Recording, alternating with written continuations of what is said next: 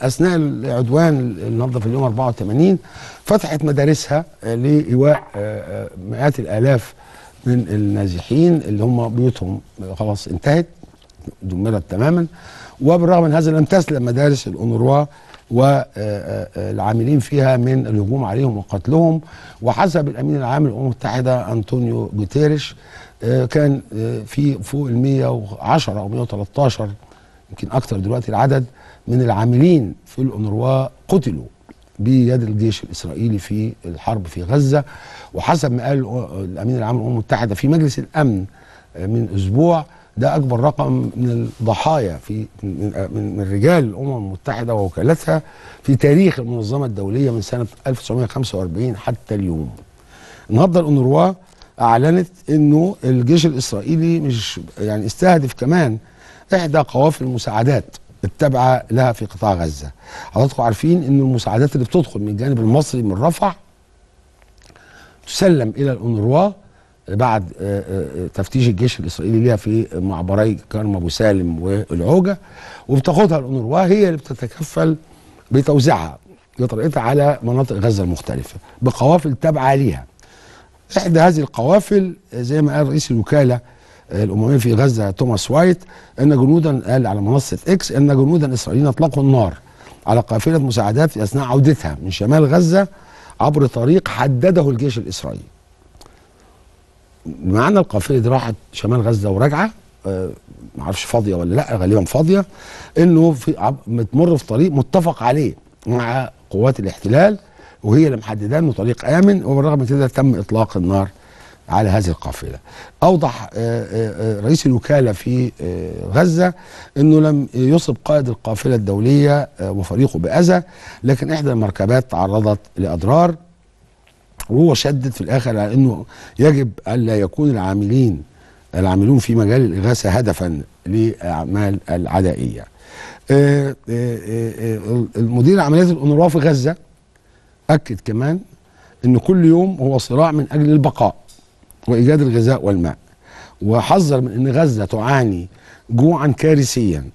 و40% من السكان 40% 40% من 2 مليون و3 من عشرة يعني قرابة 10 حوالي حوالي مليون شخص. معرضون الآن لخطر المجاعة. وإنه غزة اليوم في أمس الحاجة لمزيد من المساعدات. والأمل الوحيد حسب رأيه هو وقف إطلاق النار الإنساني. وزي ما كنا بنقول دلوقتي حضراتكم آه، إن يعني الشهداء طبعا بشكل عام الحصيلة آه، تجاوزت 21300 آه، شهيد. ال- ال- ال- ال- الجرحى تجاوزوا 55000 آه، جريح. طبعا المساكن المهدمة وصلاح الصالحة للسكن أو الصالحة للعودة إليها لا توجد. الشتاء قاسي جدا. في غزة المخيمات القليلة الموجودة لا تكفي الناس. الناس تحاول أن تلجأ إلى آه، مدارس آه، ومنشآت الاونروا عشان تبقى مكان آمن تقيم فيه لكن هذا أيضا آه، غير آمن آه، زي ما قدام حضراتكم أهو. هذا هو ما تبقى من ده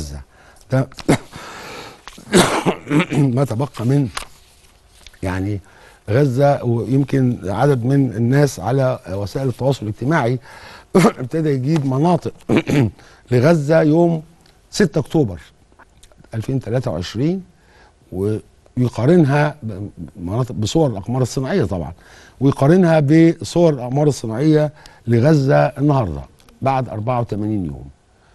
ودي صور صور طب طبيعية مش بس أقمار صناعية ده كمان الصور تتغير كل يوم ده كل ساعة. يعني حضراتكم ممكن تكونوا شفتوا صور هنا في البرنامج ده من عدة أسابيع لكن مش هي دي النهاية. لا الدمار وحجم التدمير آه، بيزيد. يعني زي ما كنا بنقول امبارح مثلا في مخيم البريج حصل قصف غير مسبوق من الطيران الإسرائيلي والمدفعية والدبابات الإسرائيلية. بشكل مزعج مذهل. وكل الخبراء مش فاهمين آه، هذا القدر من القصف يوصل لإيه؟ يعني يوصل لاي من أي نوع من مواجهة المقاومة. هو لا يوصل إلا للدمار اللي حضراتكم شايفينه. ويمكن لو إحنا كل ده غمضنا عينينا وفتحناها ولقينا الحرب وقفت. وقفت في لحظه ما وهتقف إن شاء الله في لحظه ما المشهد اللي قدامنا ده متى وكيف وبكم سيتم إصلاحه؟ ده من حيث الإصلاح. السؤال الأهم والأصعب حينما ينتهي من الإصلاح ويتم الإجابة على الأسئلة متى وكيف وبكم يا ترى السكان البشر اللي, اللي عانوا آه، داخلين على الشهر الثالث أهو الرابع آه، هيعيشوا فين؟ هياخد وقت قد إيه إعادة الإعمار لو تقرر حتى النهارده إعادة الإعمار ووفرت الميزانيات كلها ووفرت ال ال ال الشركات وتوفر المناخ الآمن بدون هجمات إسرائيلية آه، على غزة. وفي حالة من يعني الاسترخاء الكامل. يا ترى عشان هذه الأماكن تبقى صالحة للسكن الآدمي بمرافقها بشوارعها بمحطات المياه بخطوط المياه بالصرف الصحي بالكهرباء بأعمدة الشوارع بالنور بكل حاجة. ده يا ترى الناس دي هتاخد كام سنة عشان تقدر ترجع لبيوتها؟ يا ترى أطفال غزة وطلبتها وتلامذتها من البنات والولاد اللي في سن التعليم وإحنا عارفين إن الشعب الفلسطيني في غزة عنده نسبة تعليم عالية جدا نسبة الأمية لا تتجاوز 2.5% الباقي كله متعلم. طب عشان المدارس دي تشتغل والجامعات تشتغل المدارس تقريبا يعني ما عنديش رقم نهائي لكن الأغلبية الساحقة منها خاصة مدارس الأونروا والمدارس الأخرى العامة والخاصة دمرت والجامعات أيضا جامعة ال- الأزهر فرع آه، غزة الجامعة الإسلامية كل الجامعات تقريبا هجمت. يا ترى الناس دي هتقدر تتعلم؟ يعني في سنة دراسية هي هي هي ما لحقتش تبدأ. أكتوبر كان بداية العام الدراسي عموما بدايته في كتير من الدول. يا ترى أطفال غزة وشبابها هيقدروا يروحوا المدرسة أو يروحوا الجامعة أو المعهد بتاعهم؟ في معهد أو في جامعة أو في كلية للعام الدراسي 23 24 الإجابة الأرجح لا إلا إذا شعب غزة القادر على فعل يعني المعجزات. استطاع إن هو يعمل زي ما عمل بعض الشعوب. ده تم في فيتنام. بين العدوان الأمريكي كان ال- ال- الش- الشعب الفيتنامي في ظل القصف اللي استمر سنوات بيتعلم تحت الشجرة. أقاموا مدارس مش مدارس فصول بقى فصول متنقلة للتعليم التعليم في الحقول التعليم في الأدغال التعليم في بقايا المدن. آه، غزة غالبا هتقدر تتغلب على ده لكن ده مش هيخرج آه، ابدا. الأجيال اللي إحنا نتمناها هيبقى ساقط منهم. سنة. ده على مستوى التعليم طبعا على مستوى الصحة. يا ترى الناس ال- المصابين اللي هم عددهم فوق ال 55 ألف يا ترى في في غزة بقي شيء من المنشآت الطبية إلا عدد محدود جدا خاصة الشمال؟ الشمال يعني تقريبا كل المراكز الصحية والمستشفيات دمرت دمرت كلها. هل يا ترى هيقدر آه، آه، آه، شعب غزة مش بس الجرحى منه المرضى؟ المرضى بأمراض مزمنة آه، ولها علاجاتها وعلاجاتها دي دورية على مدار الساعة. آه، آه، ال- ال- المرضى اللي هم بيحتاجوا لعمليات جراحية مش جرحى بقول اللي بيحتاجوا غسيل كلى. وشفنا آلاف الحالات في غسيل الكلى عندها مشكلة. يا ترى كل ده ممكن يتوفر إمتى؟ الحد الأدنى منه على الأقل عشان يبعث في غزة الحياة من تحت ال- ال- الركام. كل ده هياخد وقت. ده أنا بقول بفترض أنا غمضت عيني وقلت الحرب خلصت. فما بالك آه، بان الحرب ما خلصتش.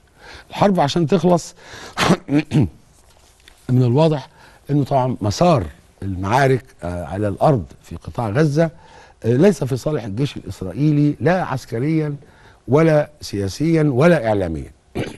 بمعنى إنه عسكريا الجيش الإسرائيلي في اليوم 84 أهدافه الثلاثة هدفين مباشرين وهدف مؤجل. الهدف الأول القضاء على البنية التحتية لحماس آه، آه، البنية العسكرية وإخراجها من الس- السي- من السلطة السياسية في غزة. ده الأول. الثاني الإفراج عن كل المحتجزين أو الأسرى آه، بدون مقابل. ثلاثة آه، تحويل غزة آه، إلى منطقة غير مهددة ما بين قوسين لأمن إسرائيل ولأمن المستوطنات في غلاف غزة.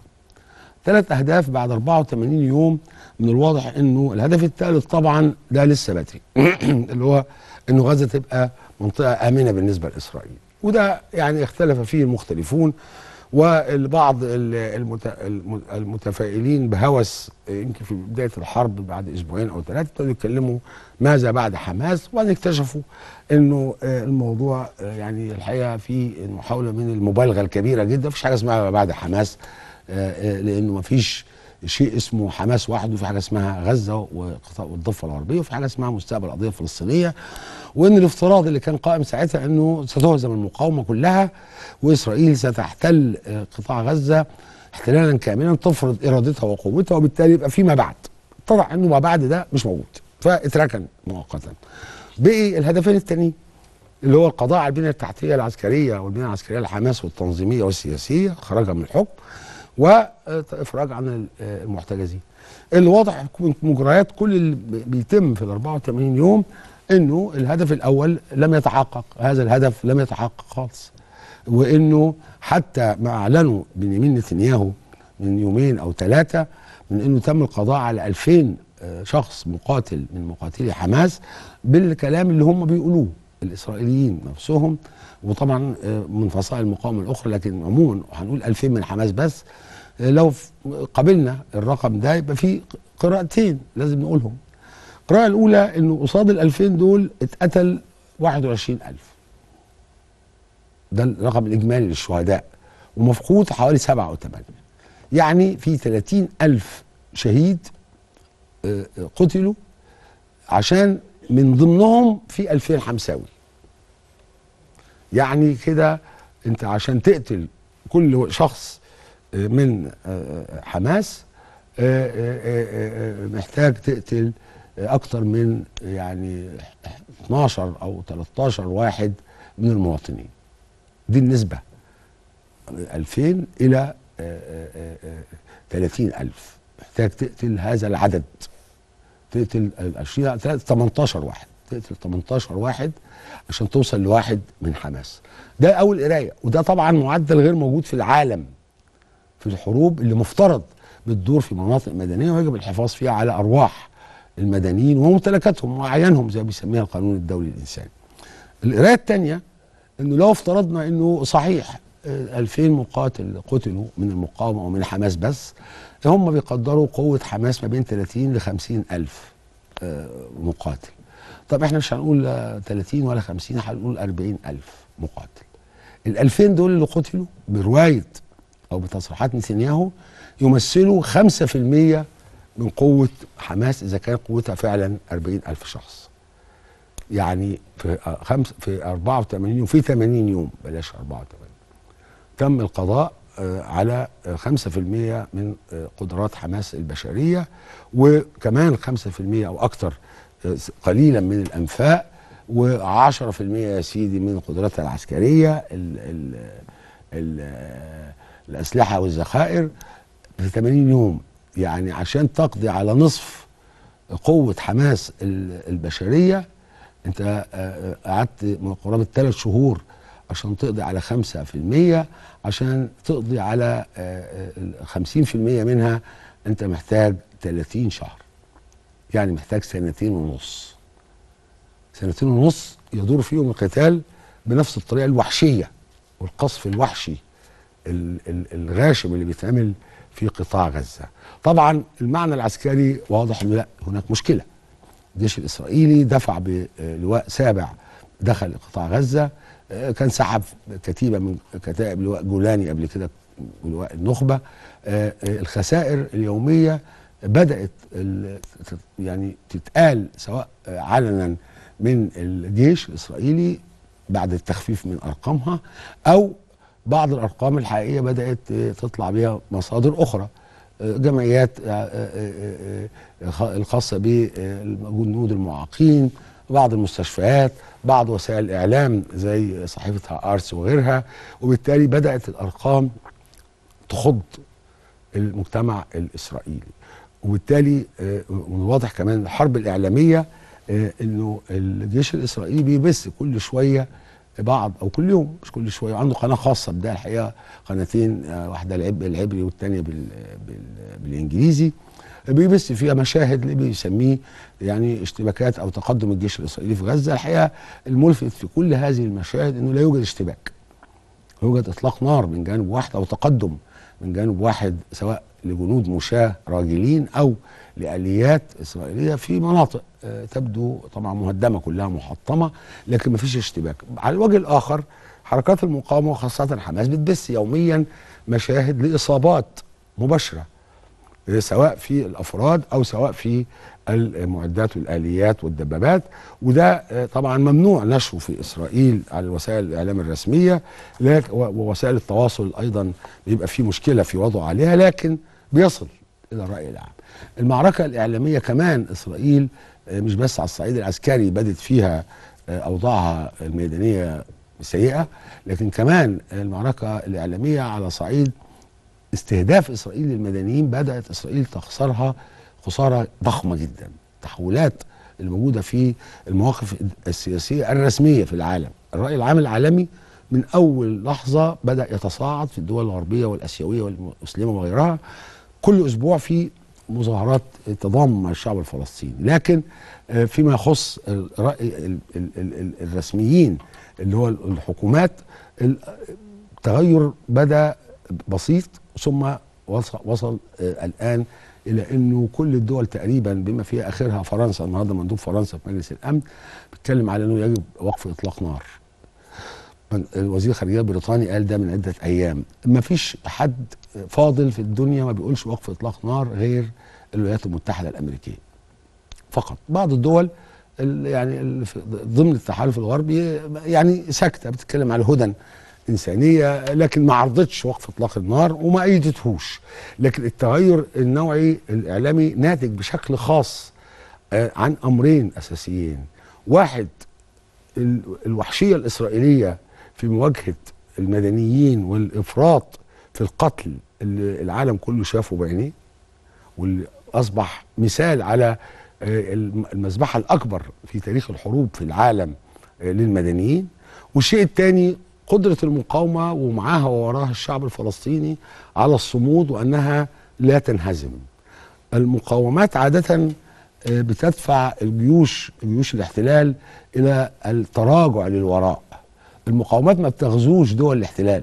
عشان بس ناس كتير ما بتبقاش فاهمة المعنى الانتصار إيه والهزيمة إيه.